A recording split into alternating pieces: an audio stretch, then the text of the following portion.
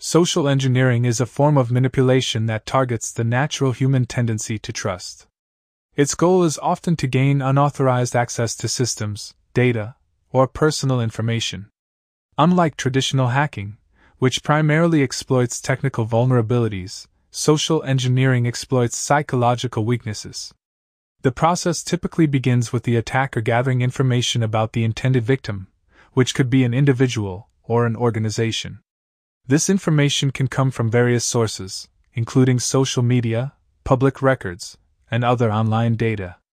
Armed with this knowledge, the attacker crafts a plausible scenario or identity to interact with their target. There are several common techniques used in social engineering.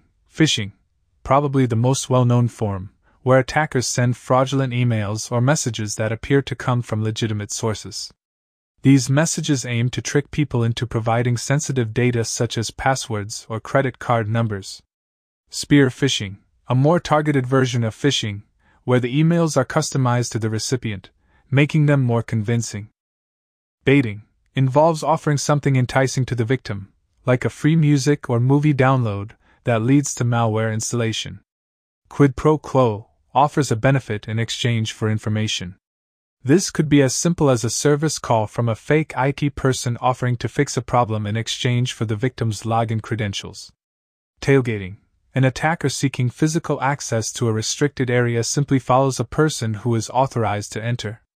Impersonation The attacker poses as someone with authority or a right to know certain information, manipulating the victim into granting access or divulging secrets.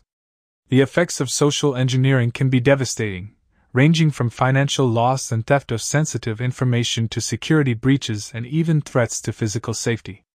To defend against social engineering, individuals and organizations need to foster a culture of security. This includes training to recognize and respond to social engineering attempts, implementing robust security protocols, and maintaining a healthy skepticism towards unsolicited requests for information or access.